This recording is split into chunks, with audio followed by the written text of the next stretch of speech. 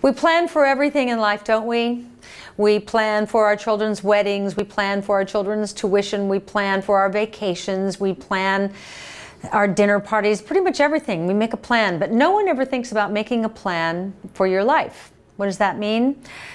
Look down the road and think about what you want the next decade and the decade after that and the decade after that to look like relative to you. Uh, do you have strong bones? Do you sleep well? Are you healthy? Do you have disease? Do you not have disease?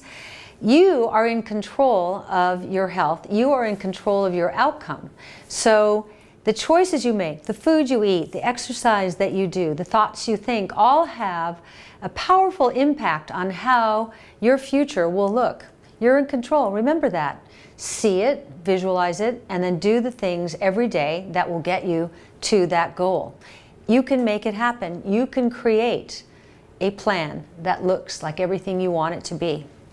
Enjoy.